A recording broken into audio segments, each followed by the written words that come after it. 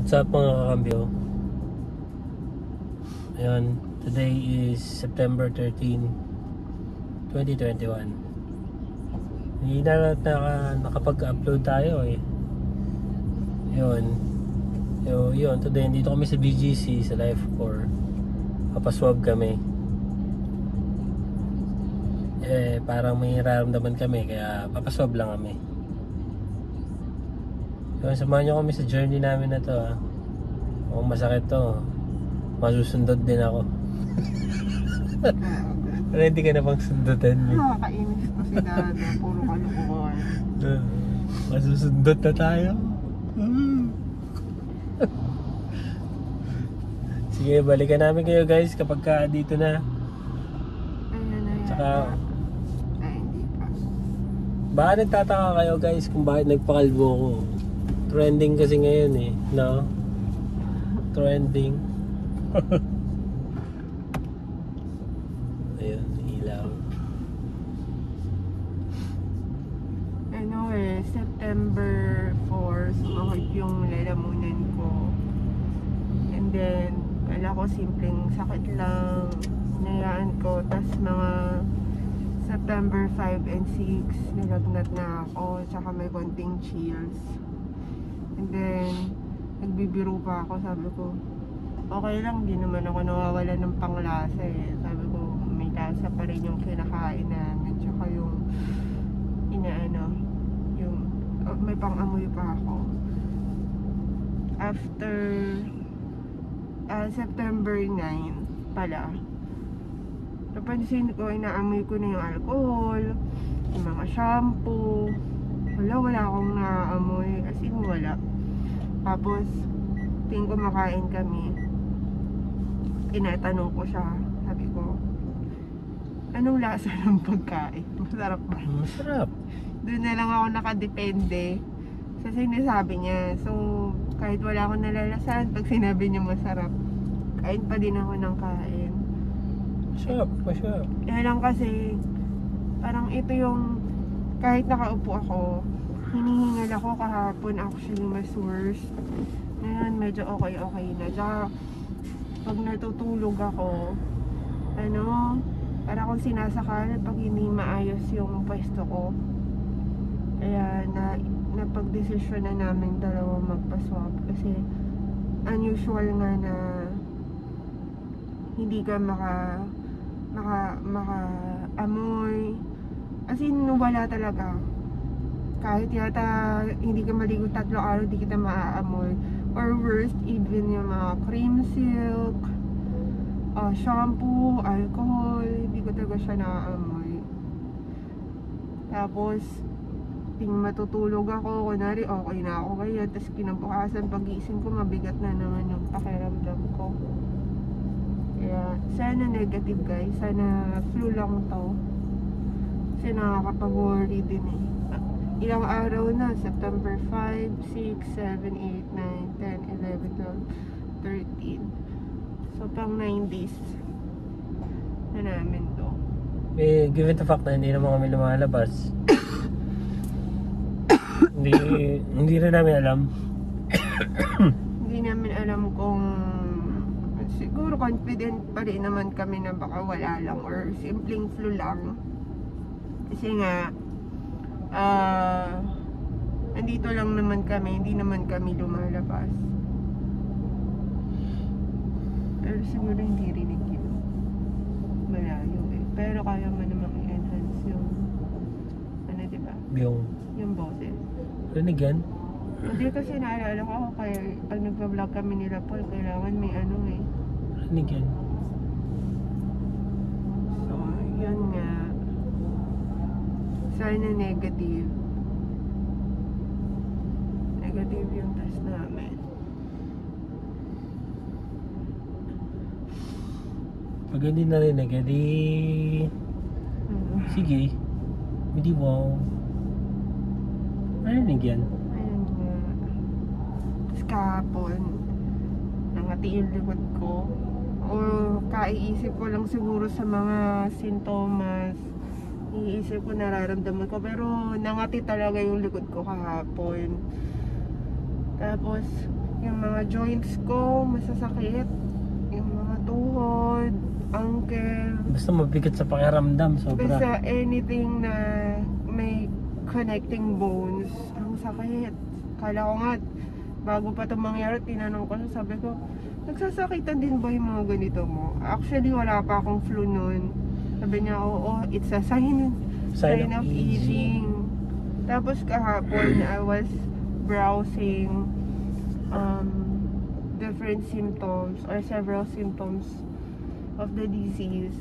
Yun nga, sabi nila, isa nga yung joint pain. Pero, hoping pa rin naman kami na hindi.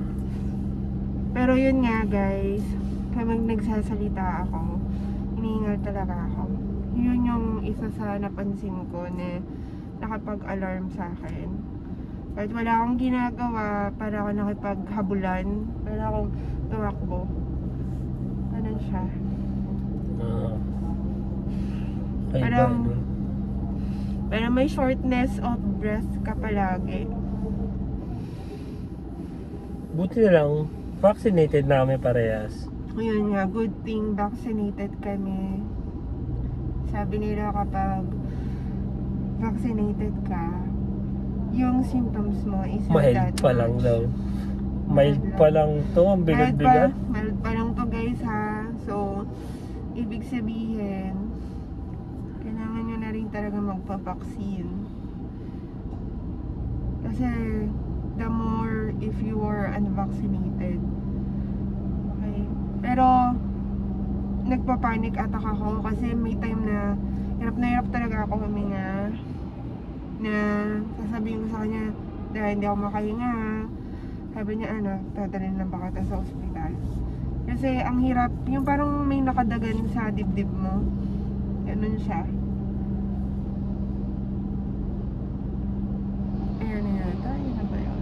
madala na oh. Or hindi yata. Baka doon pa.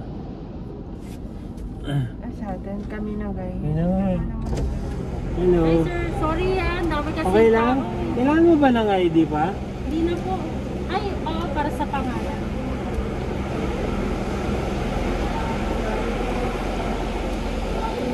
Sir, wait lang po ah.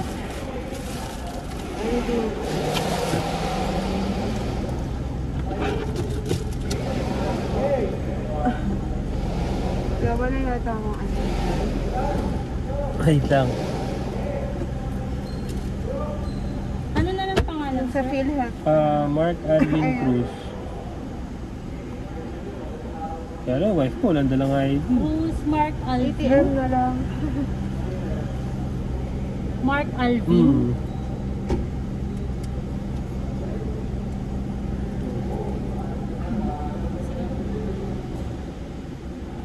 Hapon pa raw si Jobs eh. Yes po, 2 p.m. Pogi ba yung pinsan mo? Oh, Pogi ba? ano pa? Pogi ba? Sobra. Tsaka- Pogi ah. May girlfriend na ba yun? Ha? May girlfriend na? Hindi nagsabi sa amin yun eh. Nakita mo na yung kapatid nun? Ano, sa picture lang, sir. Sir, bali sa ah, nasa pharyngeal swab po yung collection natin, ha? May konting discomfort but try not to move your head backwards. Just breathe through your mouth lang. Okay, pababa na lang. ng Maliit, sir. maliit lang naman Okay, pala. Baba po yung ulo. Relax na, sir, ha? Please lang po. Na One, na. Two, three. Okay na yun? Sa FB naman. Sarap pala sundutin. Hindi naman pala siya OA. Yung iba kasi parang in-exaggerate nila.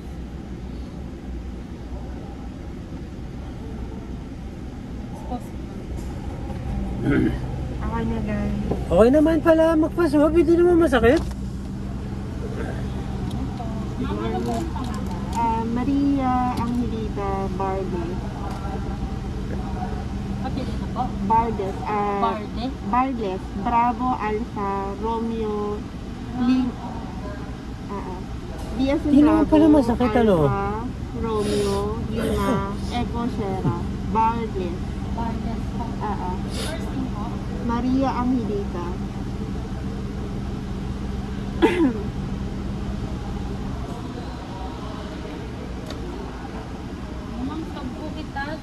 Maria Angelita.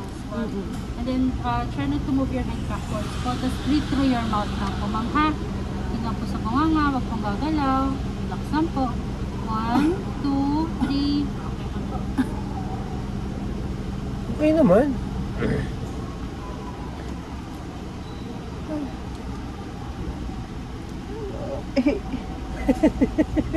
Sabi siya, okay naman, di ba?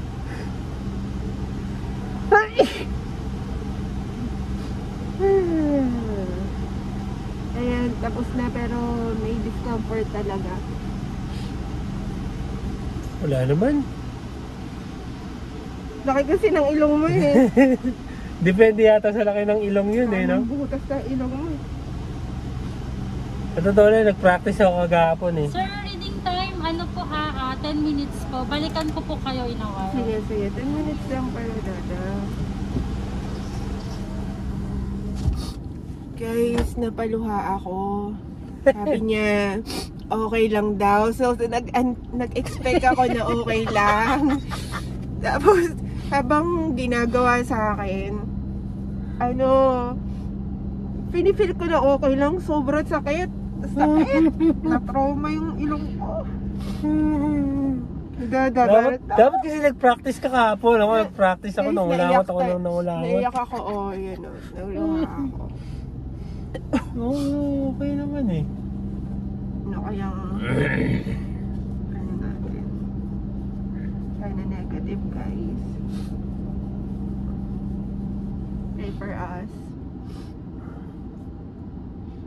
Nawala naman na yung fever ko. Yung fever ko, mga dalawang araw lang siya. So, onset of sore throat, September 5. And then, September 5, ah, September 6 and 7, medyo nag-chills ako. Tapos, parang pagod na pagod ako yun.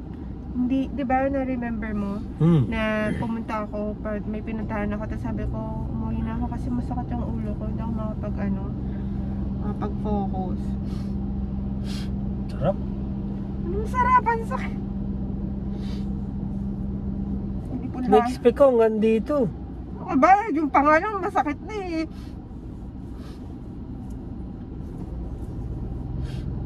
Ano? Na-expect ko pa rin yung kabila. Yun. Hindi na pala kailangan. Ang sakit. sakit pa rin ah. Ah, hindi naman.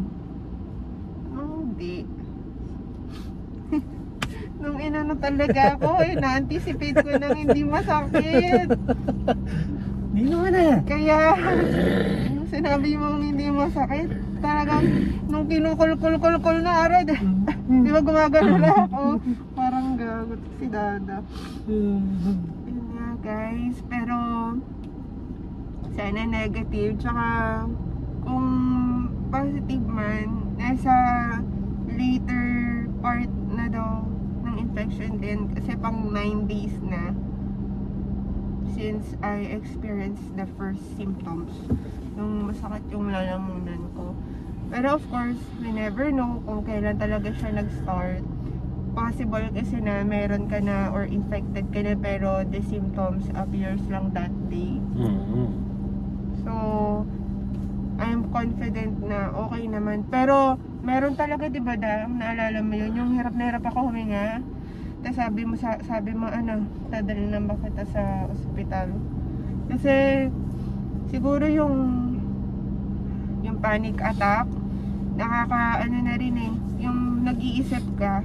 So, if you experience signs and sy- symptoms of of this disease or kung ano man to, mas maganda yung magre-relax ka lang talaga. Kasi, the more na iniisip mo siya, the more kang madidepress, the more mong mararamdaman lahat ng symptoms. Oh, parang hirap ako huminga. Pero, kahapon talaga guys, nakaupo lang ako. Pero, hinihingal talaga ako. Katulad ngayon, yan. It's not usual kasi na nagsasalita ka tapos nahihirapan ka huminga. So, kaya talaga nagpa-swab na kami.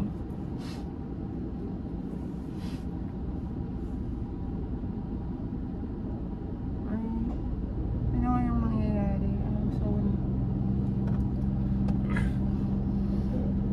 Kakabahan ako ah. Kakabahan?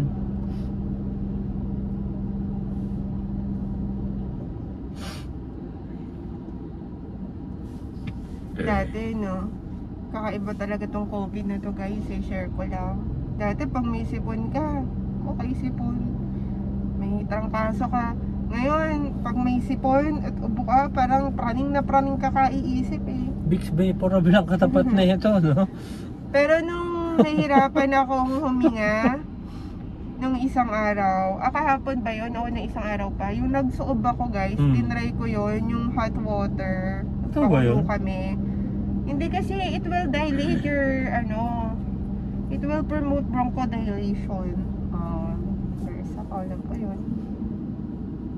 So, sobrang hirap huminga na parang ano, parang yung anak kong may ba, may baby kasi ako eh. So, parang siyang lagi nakadagan sa dibdib ko. So, ang sikip, ang sikip, tapos, kahit na nag, nag, nagsasalita lang ako, hinihingal ako. Ginawa ko, nagpainit ako ng tubig, tapos may kumot, tinakpan ko, tapos tinapat ko lang yung mukha ko dun sa mainit. So, yung steam nun, mainit. Once you inhaled it, it will dilate or it will make your your your air passage broader. Yun. So, medyo nakaginhango naman ako tsaka pinagpawisan ako kasi syempre mainit yun. Ayun, sige, balik na lang, balik na lang kami guys. Medyo namin masyado na mahaba.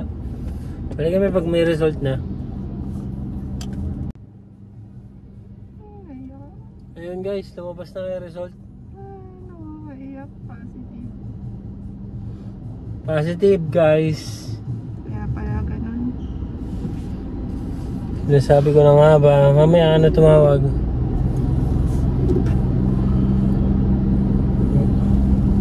Yun ang nga nakakalungkot. Positibo. Mga bata. Paano kaya to yung mga bata?